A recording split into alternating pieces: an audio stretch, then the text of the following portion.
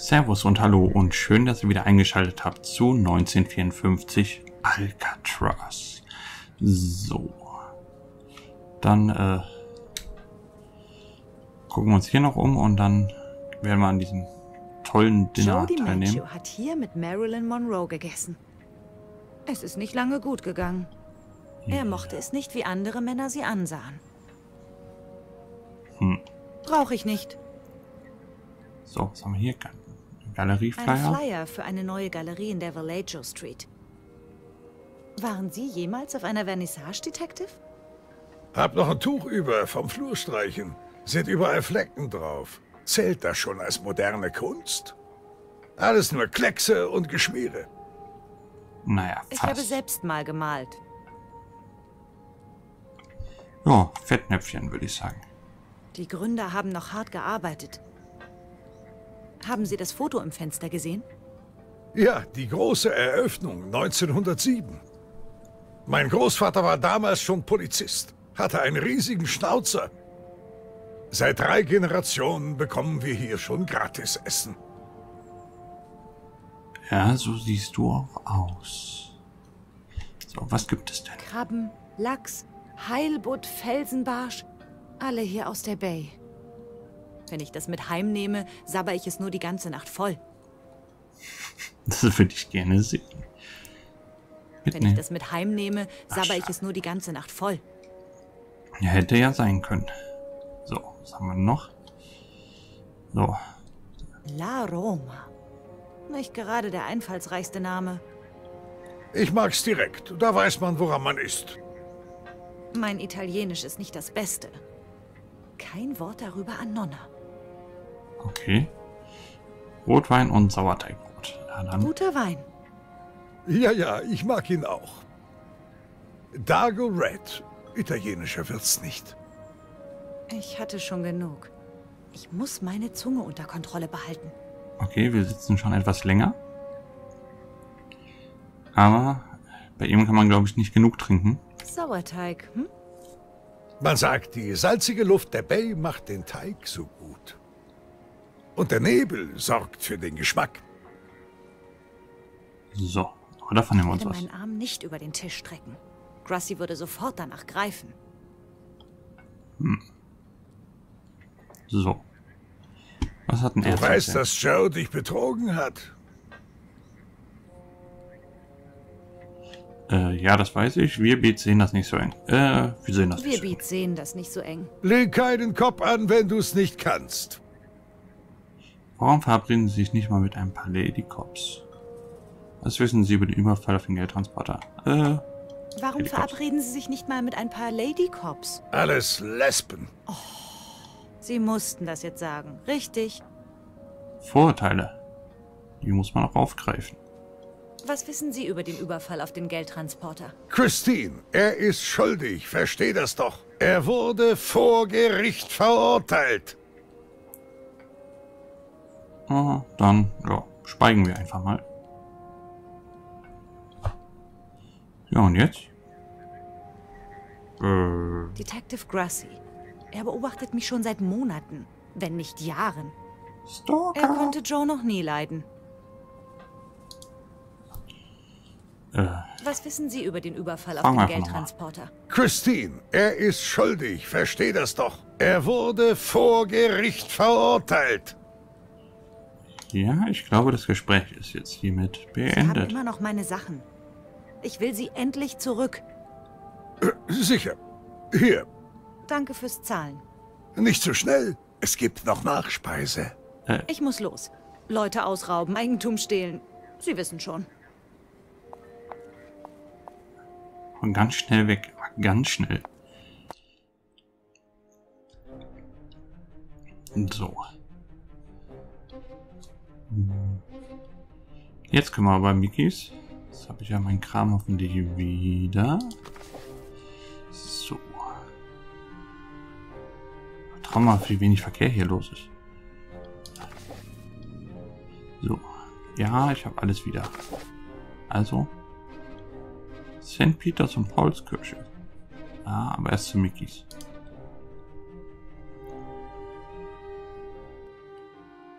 So. Ja, das können wir ja alles noch. Wir haben aber langen Atem, das so lange zu warten. Okay. Komm, komm, komm, komm. Da waren wir ja schon. Irgendwas Neues gibt es nicht. Dann äh, würden wir mal äh, auf halblegale Weise diese Tür öffnen. Ist Wie offen. elegant. Geh durch.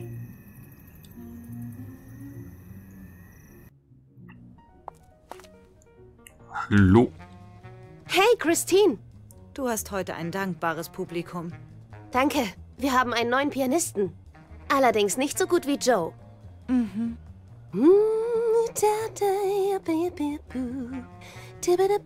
Oh yeah. Hadabu. So. In den Club gehen? Nein, wir gucken uns erstmal hier um. Ein staubiger, alter Koffer. Wahrscheinlich noch aus der Prohibitionszeit. Ist da noch Er Alk würde drin? nur runterfallen und mich erschlagen. Ich Das kann nicht sterben, nicht. ohne Joe ein letztes Mal geküsst zu haben. Das geht natürlich nicht. So wirklich. Eine Rolle weiß. Wahrscheinlich von Britex. Ja, Sowas was brauche auch- ich nicht. Und sie Ich auch nicht. wahrscheinlich auch nicht. Was für ein nutzloses Objekt. Kann ja nichts wegwerfen. Hübsche Sträuße. Von wem sind die Blumen? Ach, von irgendeinem Seemann. Die Navy scheint deine Show wirklich zu lieben.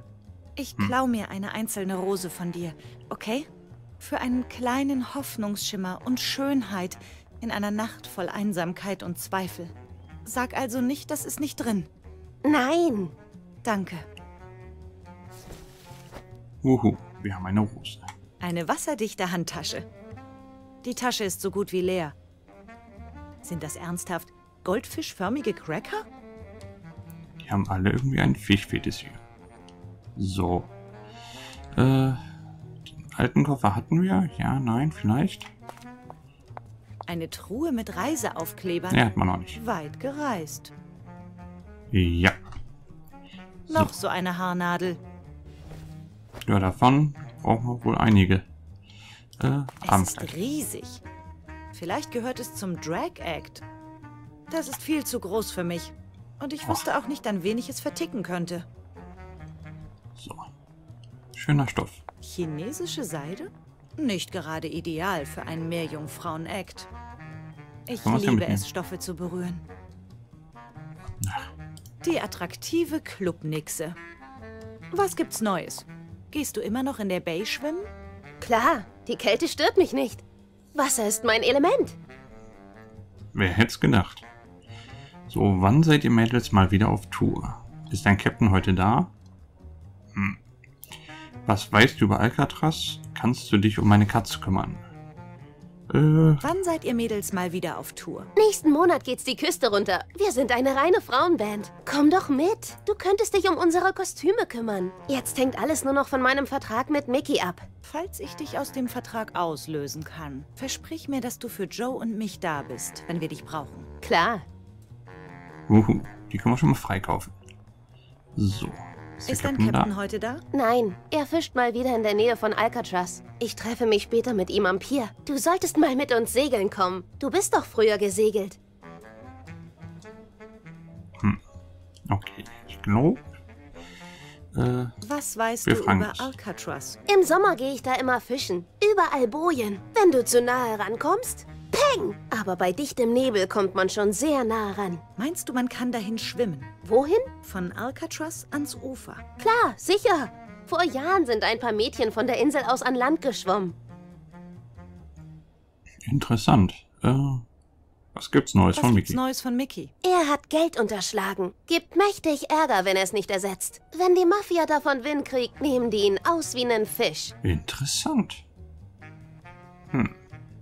Kannst du dich um meinen Kater kümmern? Oh je, ich hab doch Angst vor Katzen. Sie lecken immer an mir rum. Wusste ich's doch. Du bist wirklich eine Meerjungfrau. Irgendwie Bis verstörend. später. Dieses Bild. Hm. Ja. So. Ab in den Club. Hallo? Wer bist du denn?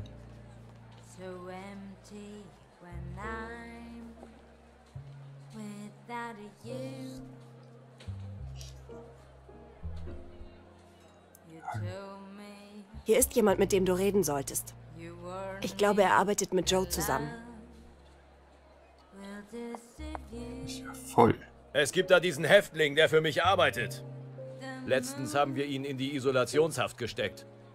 Der einzige Insasse, der überhaupt was gebacken kriegt. Okay. Kennt seinen Platz. Meistens jedenfalls. Ja, aber es ist Sache des Gefängnisdirektors, ihn rauszulassen. Der Direktor muss die Anweisung geben? Er muss einen Antrag unterschreiben. Dreifach. Und er ist die nächste Woche nicht da. Vielleicht kann ich helfen. Wie sieht so ein Antrag aus? Ähm, ich habe zufällig einen dabei. Ganz zufällig. vergessen, ihn das unterschreiben zu lassen.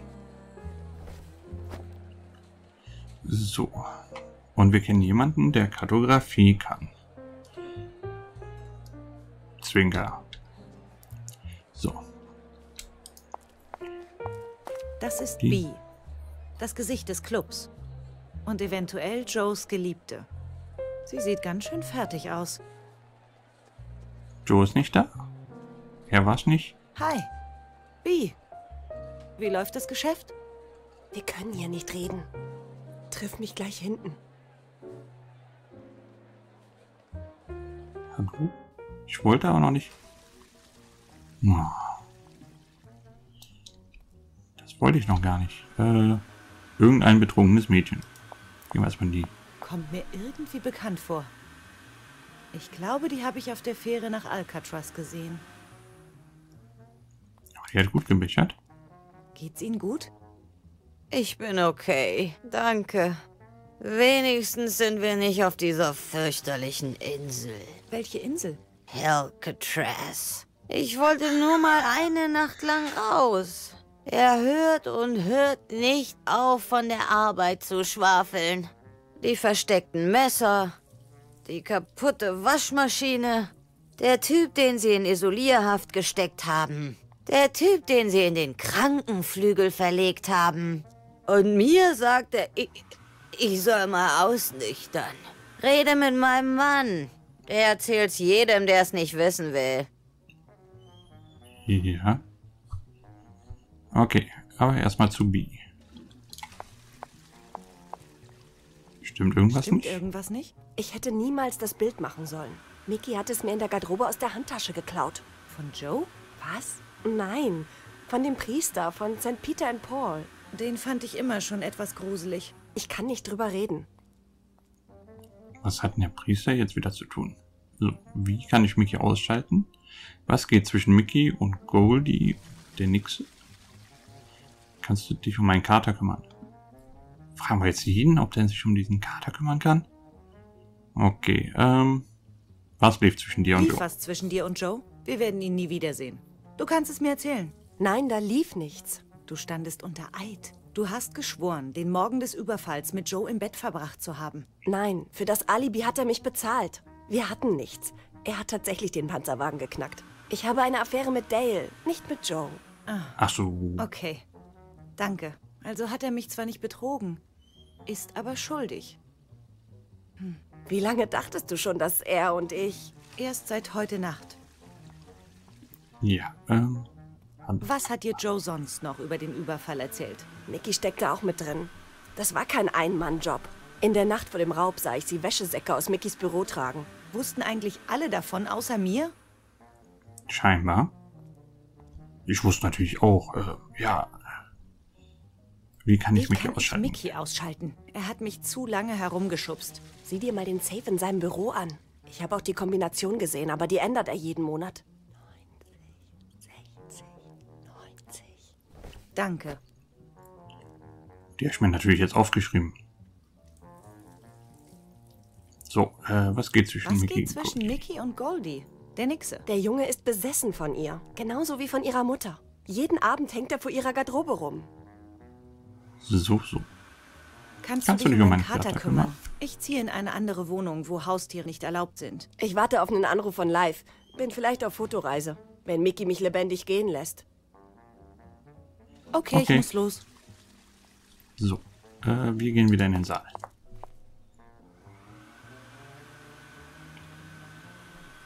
So, jetzt gehen wir erstmal. Wer sind die anderen da? Also, das ist Mickey.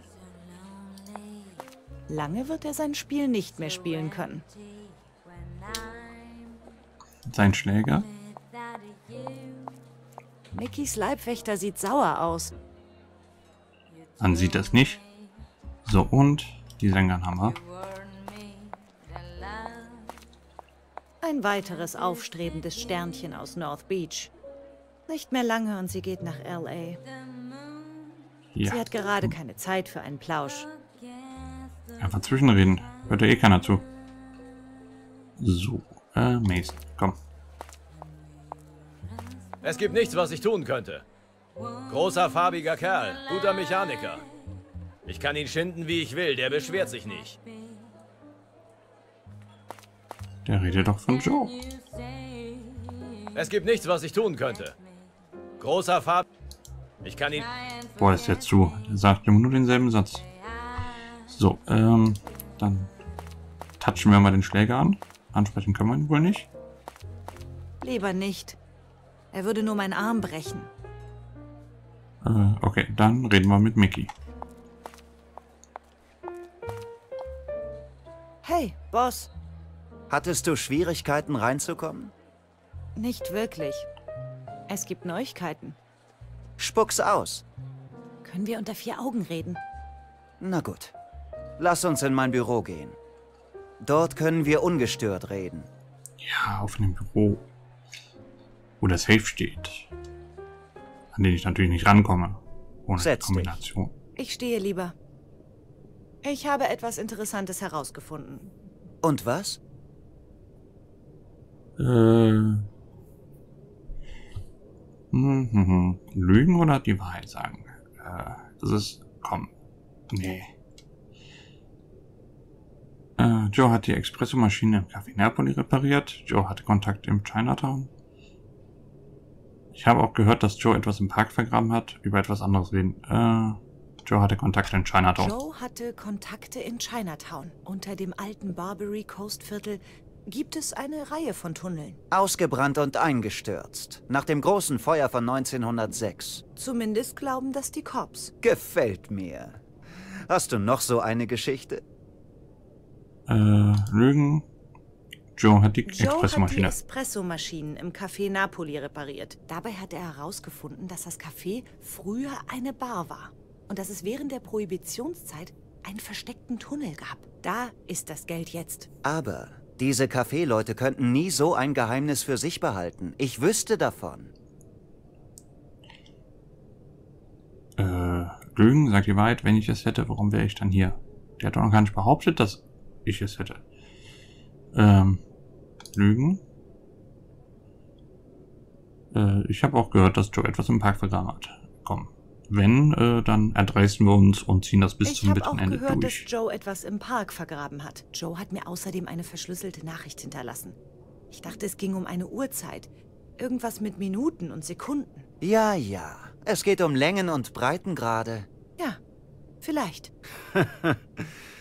Weißt du, es gibt Magazine, die würden dich für so einen Schund bezahlen. Ich aber nicht. Wenn du mir nicht bald das Geld bringst, leg ich dich um. Äh, wenn ich es hätte, warum wäre ich dann hier? Wenn ich es hätte, warum wäre ich dann hier? Weil ich deinen Mann umlegen lassen könnte? Äh, Scheiß auf ihn, tu es? Das könntest du? Äh, Scheiß ja. auf ihn. Tu es. Äh, irgendwie kaufe ich dir das diesmal sogar ab. Er hat mich im Stich gelassen. Du hast mir zum ersten Mal die Wahrheit erzählt. Mir ist egal, ob er überlebt oder stirbt. Ich will ihn nie wiedersehen. Bevor ich ihn loswerde, glaubst du, er weiß noch was? Ich weiß nicht. Vielleicht. Aber ich darf ihn ohnehin erst in einem Monat wiedersehen. Gibst du mir einen weiteren Monat? Tut mir leid, Schätzchen. Die Deadline gilt auch für mich. Schau, was du noch rausfinden kannst. Habe ja so gehört, er hat so ein paar Mafia-Probleme. So. Äh, das ist Mickys Büro, North Beach. Können wir in Mickys Ich Büro muss zurück? mit Mickey reden. Ist nicht drin. Er ist in seinem Büro und desinfiziert es. Er ist sehr gründlich. Wird eine Weile dauern. Äh, okay, ich möchte da glaube ich gar nicht erst rein. Ähm, noch meine Umkleide. Bevor wir nach North Beach zurückgehen.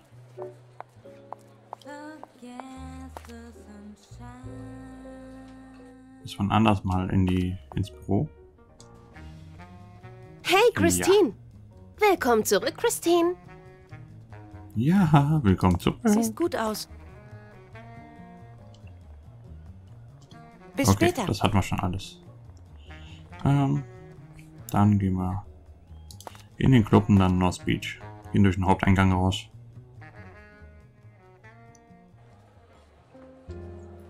Da steppt ja der Bär. Ich kann verstehen, warum die Leute so lange davor warten. Hm. So. So, viel weiter bin ich jetzt nicht. Ich könnte natürlich jetzt zu St. Peter und Paul Kirche. Aber ich glaube, ich gehe erstmal zu Vivs Apartment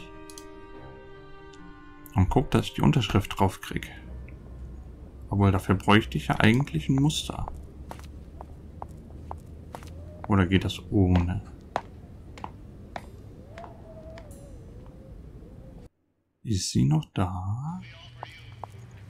Juhu, sie ist noch da. Schön, dass du mich besuchst. Ja. Äh, was soll ich als nächstes machen, Viv? Äh, Ich verschwinde mal. So. Nacht, Viv. Danke. Was machen wir denn? So.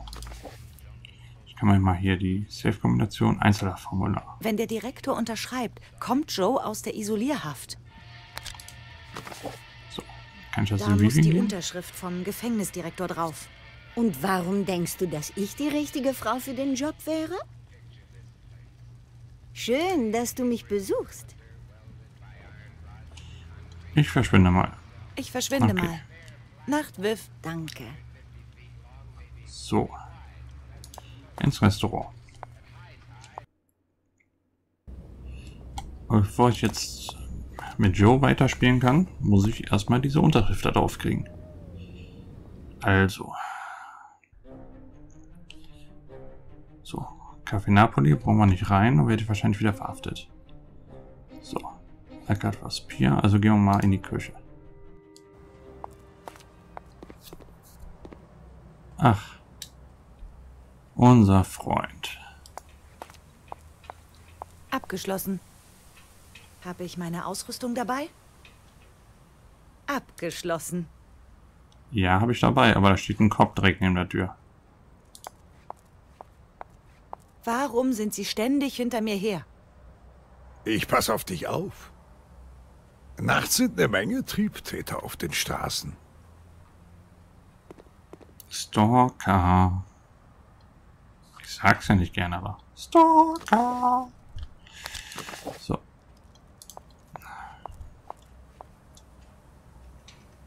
Ich glaube, wir gehen da mal rein.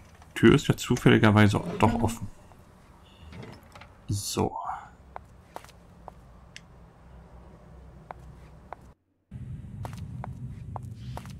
Ich dachte, ich hätte die Tür vor fünf Minuten zugemacht. Ich, ähm, ich hab was zu beichten. Das glaube ich. Wie läuft der? Gott, der unser Herz erleuchtet, schenke dir wahre Erkenntnis deiner Sünden und seiner Barmherzigkeit. Ja, ich stehe auf diesen Typen. Ich bin in ein paar Häuser eingestiegen. Ich fluche gerne. Sehr weit mit Häftlingen, richtig? Ähm, ich, fluche, Fluche gerne. gerne. Man muss sich ja irgendwie ausdrücken können. Nur muss da nicht die ganze Stadt daran teilhaben. Ja, macht doch keinen Spaß. Äh, ich stehe auf Ich diesen Typen. stehe auf diesen Typen. Er ist. Nur weiter. Ach, was red ich da? Das geht niemanden was an. Der Sinn der Ehe ist, und jetzt kommt's, zusammen zu leiden. Check. Jawohl. Ähm, Ich, Ich bin bin in ein paar Häuser eingestiegen. Mit offenen Armen bat er sie in sein Haus. Aber diese Finger sollten nicht zu lang werden. Man soll nie mehr nehmen, als man braucht. Ja, also ist das ja gerechtfertigt, was ich mache. Ich nehme ja nur, was ich brauche. So, äh, Sie arbeiten mit Häftlingen. Richtig? Auch ihre Seelen haben es verdient, gerettet zu werden. Es ist nur, ich möchte meinem Mann etwas geben. Aber die Post wird zensiert und unsere Gespräche werden immer belauscht. was machen Sie denn auf Was machen Sie auf Alcatraz? Ich biete den Häftlingen ihr Seelenheil an. Außerdem gebe ich dem Gefängnisdirektor regelmäßig eine Liste mit erbaulichen und angemessenen Filmen. Ähm, ich, ähm, helfe bei der Zensur von Briefen und Zeitschriften. Also lesen Sie meine Briefe an Joe? Ähm, ja. Ja. Wir mussten die meisten von ihnen zensieren. So, was denken Sie über die anderen Gefangenen? Was denken Sie über die anderen Gefangenen? Harte Fälle, Berufsverbrecher, kaum einer will sich ändern. Ihr Ehemann hat aber noch Hoffnung. Der gibt nicht so leicht auf. Macht er nie. Irgendwie ist der mir sehr suspekt. Bisschen eklig, vielleicht. Er geht in die Kirche? Er verbringt gerne Zeit allein, um nachzudenken, aus dem Fenster zu sehen. Hm? Er beginnt langsam sein Herz zu öffnen. Ich hoffe nicht zu sehr. Ich bin immer noch hier. Beichtet Beichtet er? Er ist kein Mann vieler Worte. Ja. Er kann besser mit den Händen. Das ist jetzt zweideutig. Danke, Vater. Und nun tue Buße, mein Kind. Ähm. Erbarme dich, meiner. O Herr, der du da Der bist, Bist. im Himmel. Deine Sünden seien vergeben. Geh in Frieden. Amen. Ja, Jawohl. Amen.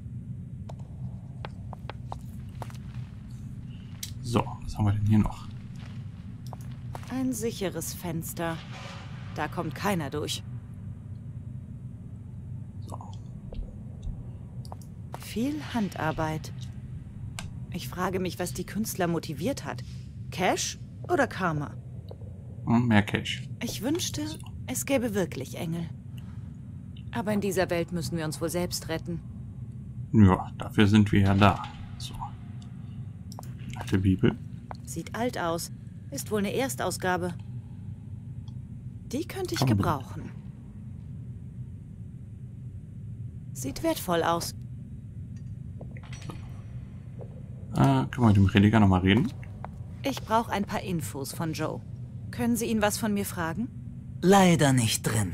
Da werden Sie wohl bis zu Ihrem nächsten monatlichen Besuch warten müssen. Gibt's doch nicht. Möge der Herr Ihren verwirrten Verstand segnen. Sie sollten es mal mit etwas Pott versuchen. Alter Junkie. Oh. Wahrscheinlich, der, der vertickt hat wahrscheinlich noch. Obwohl, dann hätte es mir ja wohl angeboten. So. Wo gehen wir jetzt hin? Da waren wir. Miggies. So, Alcatraz Pier. So, gehen wir einfach nochmal in unser Apartment zurück. So. Jetzt sitzt die Katze auf dem Bett. Hast du irgendwelche Tipps für mich? Ja. Okay. Also, wir haben eine Bibel. Sieht alt aus. Ich frage mich, ob die Lower Dabs Interesse an einer schicken alten Bibel haben. Die Kombination zu Mickey's Safe, wenn Bee denn recht hat. Das werden wir dann sehen. So. Joes Plan für einen Safe, würde ich sagen. Steht aber nicht drauf, wo der Safe eigentlich ist. Hier steht, die Schlüssel sind bei Bernadette, Viv und Sutter. Ich wünschte, er würde Bernadette aus solchen Sachen raushalten. Ja, Vivian ist wahrscheinlich gerade zu Hause und fragt sich, wann ich mit der Mie... Sutter hängt normalerweise im Café. Ja, Café ist aber dicht. So. Aber bevor wir uns weiter auf die Suche machen, war es das jetzt auch schon wieder. Aber abschließende Wort gebührt der Katze. Hast du irgendwelche Tipps für mich? Und damit bis zum nächsten Mal.